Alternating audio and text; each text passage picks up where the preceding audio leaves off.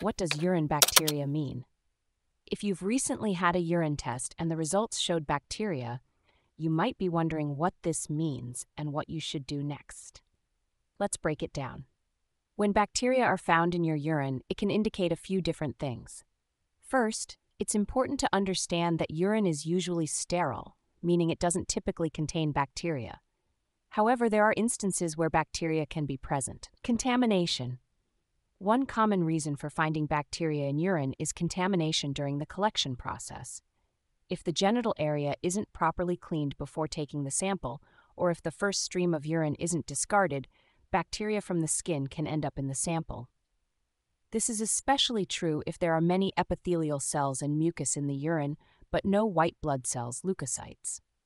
To avoid contamination, it's crucial to clean the genital area with a baby wipe or wet toilet paper pat the area dry, and then collect the urine after the first stream has been urinated into the toilet. Urinary tract infection, UTI. If the bacteria in the urine are not due to contamination, it could be a sign of a urinary tract infection, UTI. A UTI is often accompanied by other symptoms such as burning or pain during urination, bloody urine, or a feeling of heaviness in the bladder. Along with, along with bacteria, you might also see white blood cells, leukocytes, and epithelial cells in the urine. To confirm a UTI, your doctor will likely order a urine culture test.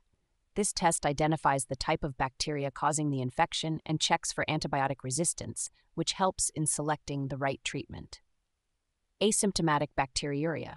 Sometimes bacteria can be present in the urine without any symptoms.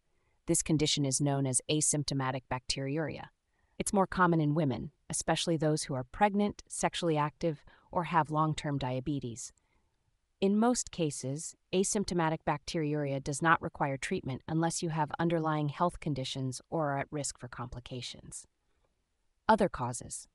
Although rare, systemic tuberculosis can also lead to bacteria in the urine. If this is suspected, your doctor may order specific tests to look for Mycobacterium tuberculosis, the bacteria that cause tuberculosis. Understanding the results.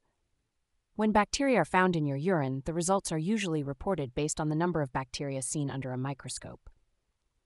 The categories include no bacteria noted, scant bacteria, 1 to 10 bacteria in 10 visual fields, some bacteria, 4 to 50 bacteria in 10 visual fields, many bacteria, up to 100 bacteria in 10 visual fields, numerous bacteria, over 100 bacteria in 10 visual fields.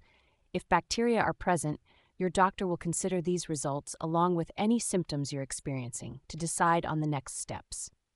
In summary, finding bacteria in your urine can mean different things depending on the context.